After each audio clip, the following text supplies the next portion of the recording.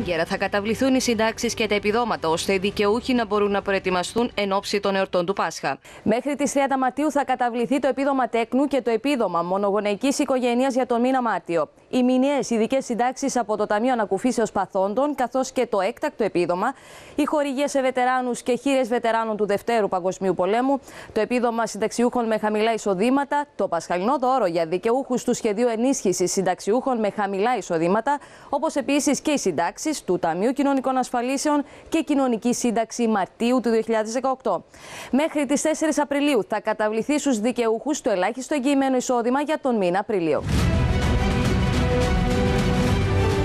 Ίδια ώρα άρχισε και η υποβολή αίτησης για το επίδομα τέκνου και μονογονεϊκής οικογένειας. Τα νέα ενιαία εντύπα για το 2018 είναι διαθέσιμα. Υπογραμμίζω με έμφαση ότι η καταληκτική ημερομηνία είναι το τέλος του έτους. Δικαίωμα σε επίδομα τέκνου έχει η οικογένεια όπου το ετήσιο ακαθάριστο οικογενειακό της εισόδημα δεν υπερβαίνει τις 49.000 ευρώ με ένα εξαρτώμενο τέκνο και τις 59.000 ευρώ με δύο εξαρτώμενα τέκνα. Αυτό το ποσό αυξάνεται κατά 5.000 ευρώ ανά εξαρτώμενο τέκνο πέρα των δύο. Για παράδειγμα, μια οικογένεια με τέσσερα εξαρτώμενα τέκνα δικαιούται επίδομα, εάν το ετήσιο οικογενειακό εισόδημα δεν υπερβαίνει τις 69.000 ευρώ. Όσο μεγαλύτερο το εισόδημα, μειώνεται το ε, επίδομα ανατέκνο. Το ύψος του ετήσιου επιδόματος για μια οικογένεια με ένα εξαρτώμενο τέκνο και με ετήσιο οικογενειακό εισόδημα 19.500 ευρώ είναι 475 ευρώ, για δύο τέκνα 570 ευρώ, για τρία τέκνα 1.045 ευρώ και για τέσσερα 1.675 ευρώ. Όσο αφορά στο επίδομα μονογονεϊκής οικογένειας, δικαίωμα λήψης έχει η οικογένεια της οποίας το ετήσιο εισόδημα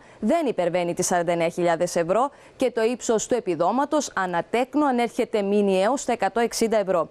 Εάν το οικογενειακό εισόδημα δεν ξεπερνά τις 39.000 ευρώ, τότε το ύψος του μηνιαίου επιδόματος για κάθε εξαρτώμενο τέκνο είναι 180 ευρώ. Όλες οι πληροφορίες που αφορούν στα επιδόματα καθώς και τα έντυπα αιτήσεων είναι καταχωρημένα στην ιστοσελίδα του Υπουργείου Εργασίας.